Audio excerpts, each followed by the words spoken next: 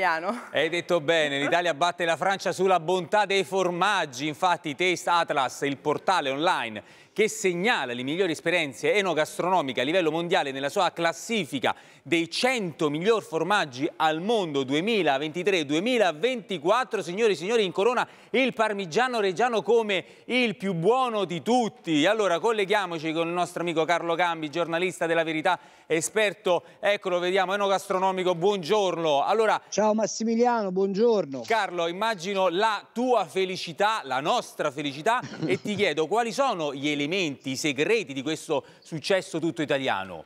Beh, innanzitutto il fatto che i nostri formaggi sono così diversi l'uno dagli altri e quindi i consumatori di Atlas, che come sai sono più di 100.000, questo sito è importantissimo perché fa un sondaggio veramente molto ad ampio spettro, hanno conquistato già i mercati del mondo e questo successo eh, consolida che cosa? Il gradimento che c'è complessivamente per il nostro modo di operare la massima qualità. Ti faccio soltanto osservare che ieri è stato pubblicato il rapporto sulla DOP Economy, vale per noi 20 miliardi. Eh. Dentro la DOP Economy i formaggi valgono 6 miliardi, quindi è una storia seria e per questo probabilmente stiamo conquistando le vette del mondo. Abbiamo cominciato a saperli vendere. Ecco, ecco ma la cosa tra l'altro che leggevo, Carlo, che il secondo e il terzo posto sono italiani con la mozzarella di bufala e lo stracchino e poi nei 10, nei primi 10, 6 comunque sono, sono italiani, sì. cioè non c'è partita per nessuno praticamente. No, no, e la cosa da sottolineare, sai qual è Massimiliano?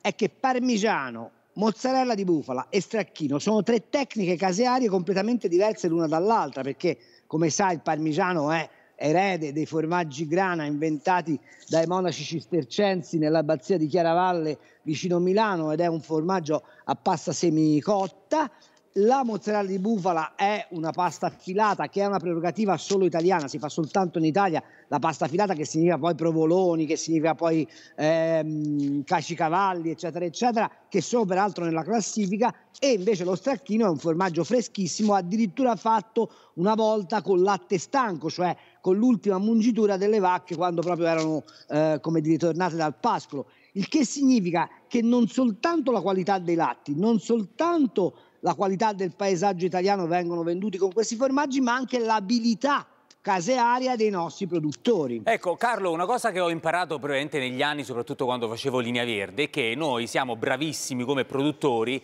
e i francesi però ci battevano quando dovevano andare fuori esportando perché poi erano in pochi a parlare e rappresentavano tanti gruppi. Noi invece siamo sempre in tantissimi a andare fuori. Allora ti chiedo, a livello commerciale, loro come sono messi?